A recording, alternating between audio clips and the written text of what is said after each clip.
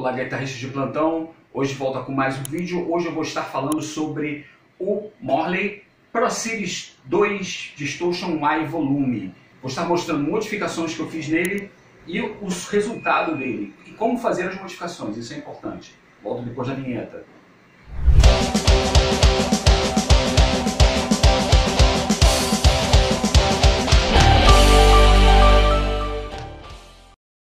Como eu falei no início, é, vou estar falando sobre as modificações que eu fiz e o resultado que você consegue. Bom, eu acho que só uma pequena introdução. Esse pedal aqui ele não tem indutor, ele tem um CI.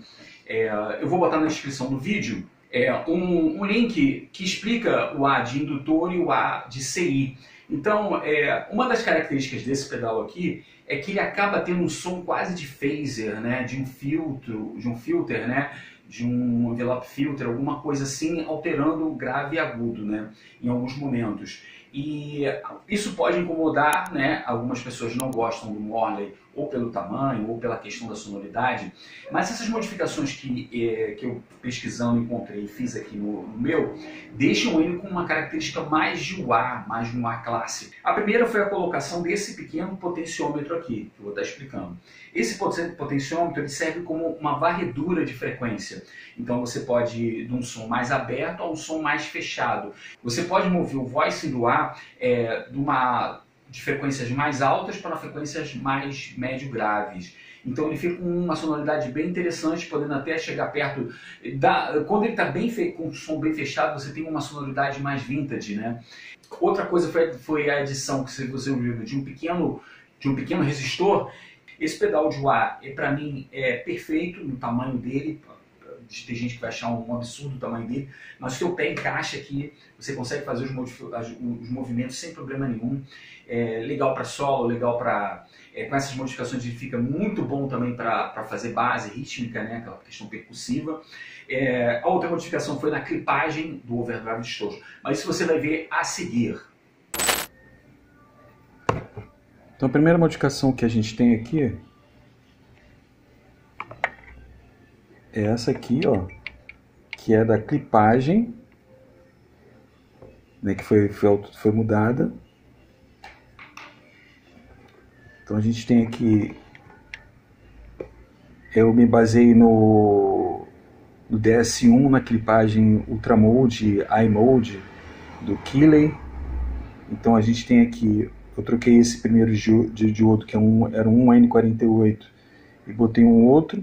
Aqui eu levantei a perna do 1N48 e coloquei o LED, né, nesses dois aqui. Nesses dois aqui. Essa foi a mudança pro o distortion dele.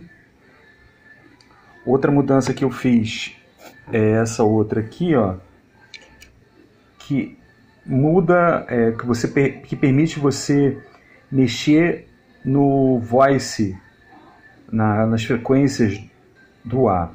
Então aqui você tem um resistor, o resistor está aqui, eu levantei uma das pernas do resistor, coloquei o fio aqui, coloquei aqui a proteção do, do emborrachado, levantei a perna aqui e trouxe para cá, para a lateral, onde coloquei então esse potenciômetro de 10K linear. Uma ligação é super simples, soldei os fios. E agora permite você ter uma varredura melhor nas frequências, né? deixar ele mais fechado ou mais aberto.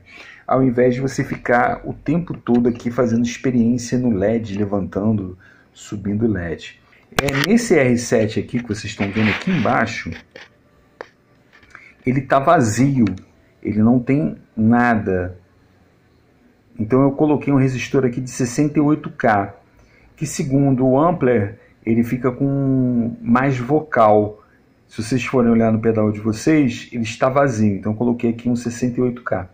Se vocês olharem aqui, existem outras outros slots vazios, né, com, com referência a, a componentes. Está vendo aqui, ó? Aqui, aqui também, ó.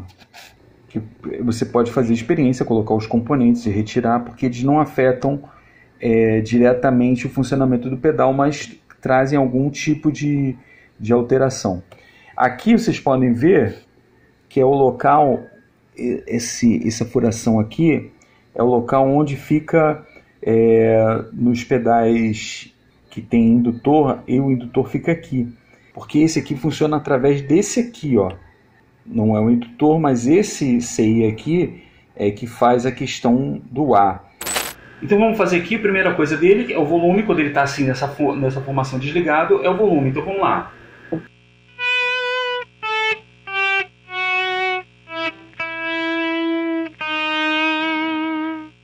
Volume dele, som do clean.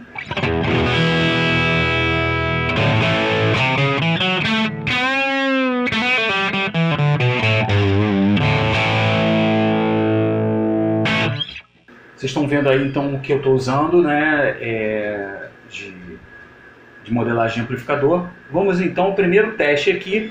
Vamos ver o, o overdrive, né?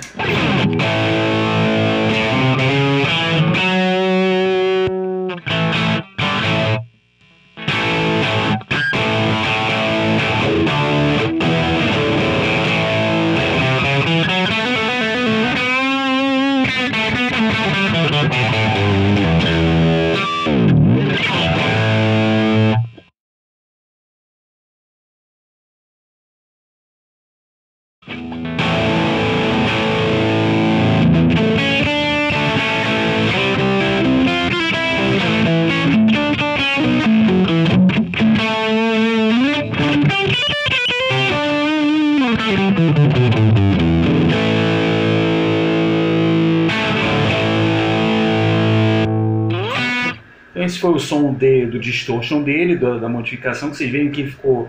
Tem um pouquinho de compressão, mas ele é um som mais aberto e mais alto. Então vamos agora ao ar. Primeiro aqui eu estou com ele todo fechado, vocês vão ver aqui.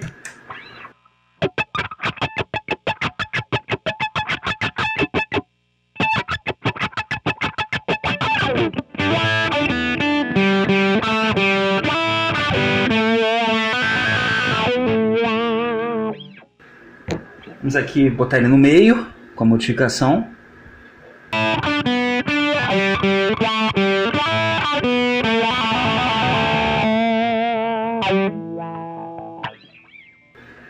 Ele mais aberto.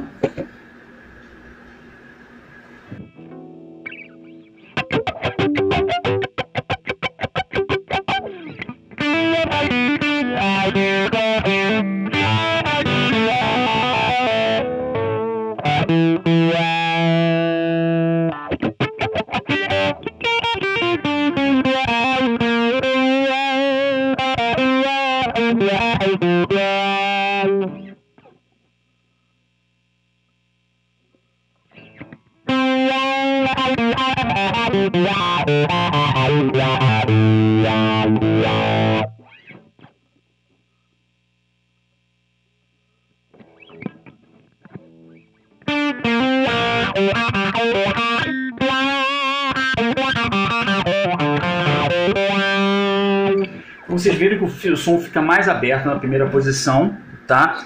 Isso, isso você poderia fazer mexendo no LED, né, para cima e para baixo para encontrar. Com essa modificação você só mexe aqui no nesse pequeno potenciômetro aqui do lado de fora. Então você tem um som mais aberto.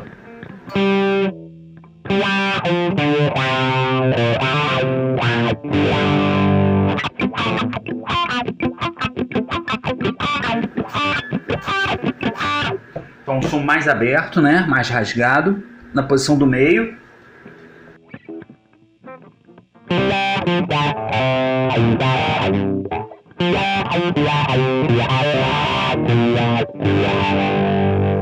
Um som mais médio, mais suave, né?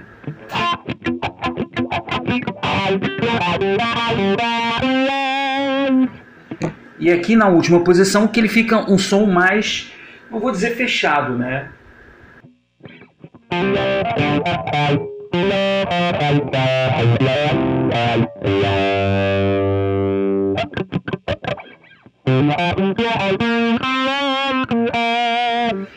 Fica com um som mais vintage, né, nesse, nesse aspecto, né, daqueles wahs mais antigos, né.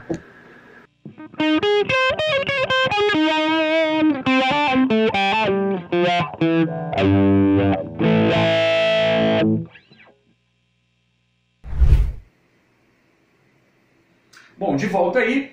Então a gente vai então agora ouvir com música, né? Porque o resultado como fica. É, não adianta você também mostrar o pedal sozinho, né? Porque eu acho interessante, né? É, isso é até uma observação à parte, é que muita gente faz, é, faz testes de comparação do pedal de um pedal chinês com um pedal original e acaba, ó, oh, é igualzinho. Mas, porém, entretanto, é, não obstante, é, muita coisa acaba se perdendo quando você toca com uma banda, quando você toca na música e você percebe se funciona ou não aquele pedal, aquelas modificações. Então a gente vai ver agora é, as modificações com um pequeno backing tracking simples, né, que eu vou é, fazer, usar, usar mostrar o potenciômetro, né, fazer a, a varredura, é, vou usar também ele com o distortion dele.